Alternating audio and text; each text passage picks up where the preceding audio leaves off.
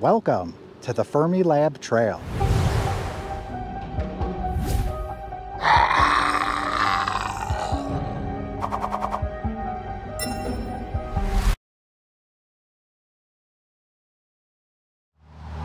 Good afternoon, everybody. I am coming to you today from the city of Warrenville, Illinois. Uh, I was in the area because I needed to reshoot part of the Aurora branch, uh, the Illinois Prairie Path Aurora branch, uh, which I just finished. So while I was down here, I wanted to explore uh, the Fermilab Trail. So we are right over here. So it looks like we got to cross the street and then cross again and then to make our way up to the Fermilab area. Okay, so here's what a map of it looks like. Uh, we're right at this intersection here, uh, Butterfield Road, which is, I guess, uh, Illinois Route 56, and Batavia Road. Uh, so we're the blue triangle here. Uh, so we're just going to go right on up. It's somewhere in here you enter Fermilab territory, and then it looks like we just take that to the end and then turn around and make our way back.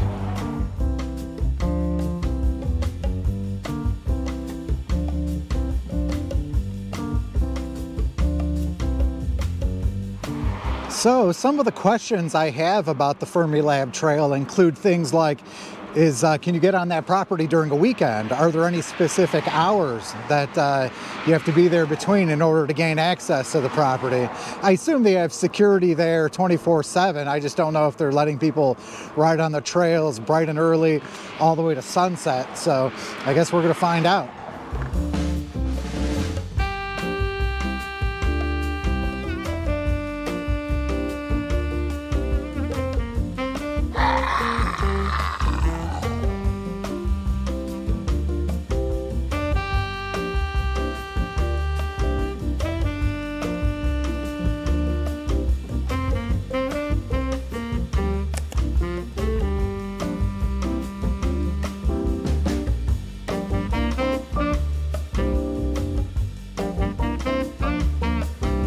Okay, it looks like uh, Fermilab property must start uh, like right around here. There's a big Fermilab uh, archway. I see like a little security kiosk.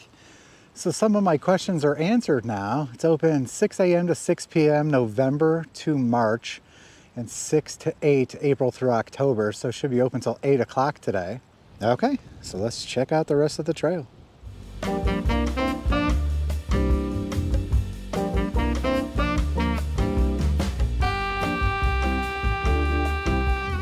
Okay, so just after that sign, we come across this barrier here, bike path closed. It says check-in required. It's showing this way for the bike path, so uh, let's head in that way.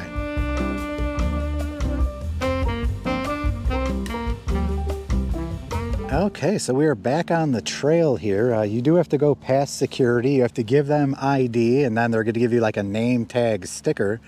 And then, uh, you know, I'm just going to follow it to the end of the trail here.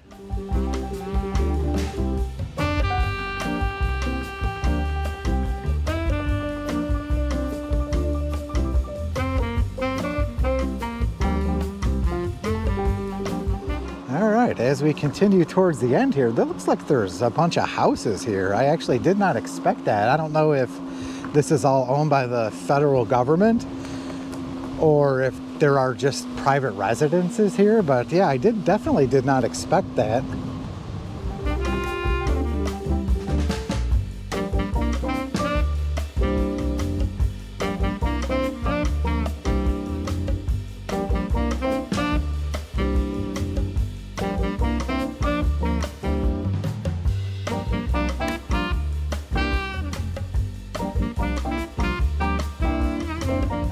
One of the things I remember reading about this Fermilab Trail uh, was in fact that they do have buffaloes on the land here. I think I might have actually come across some right over this way.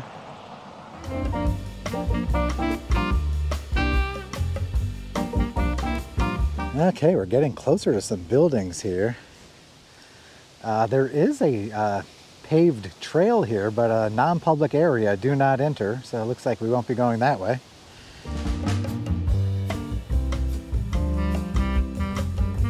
Okay, we're definitely amongst the buildings now. It's an interesting looking one here. sculpture over there.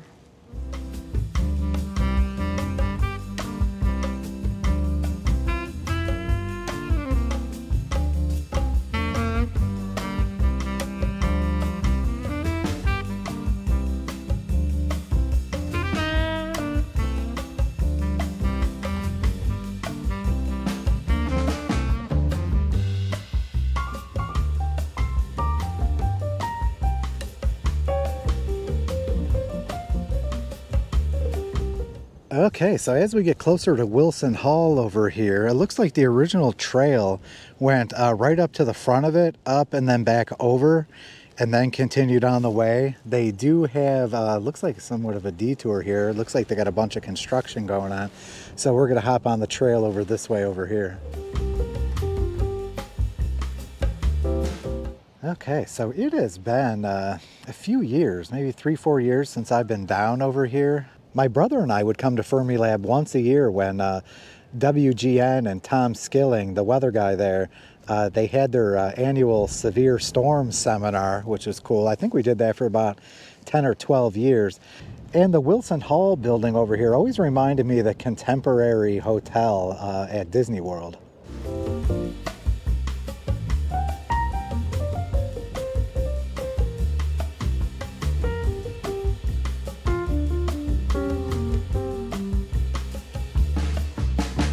Okay, so as you saw, the trail kind of ends up being a shoulder on this road here.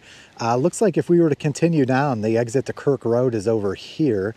And uh, over here, there's a sign that says bike path to Kirk Road, and it looks like that follows the track we're following on AllTrails. Uh, so we are gonna turn left here and follow this trail.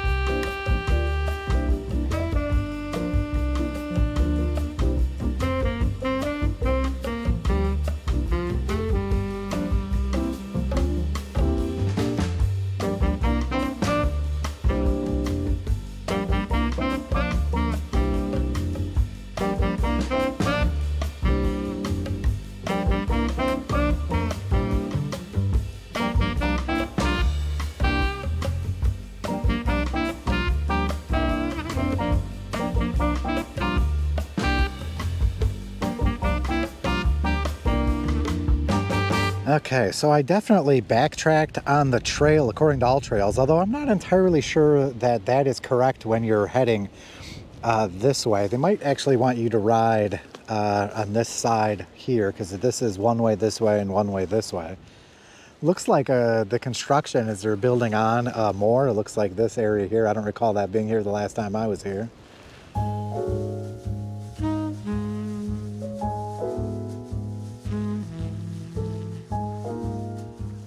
Take a moment to recognize Old Glory, waving in the breeze, as she should.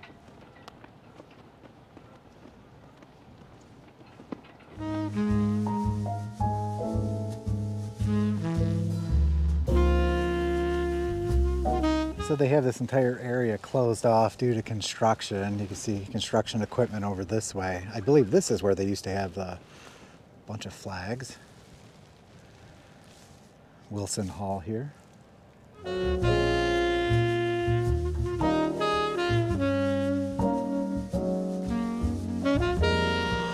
Okay, so I am on my way back uh, to Warrenville, uh, cutting through the rest of Fermilab property here. It's a cool building.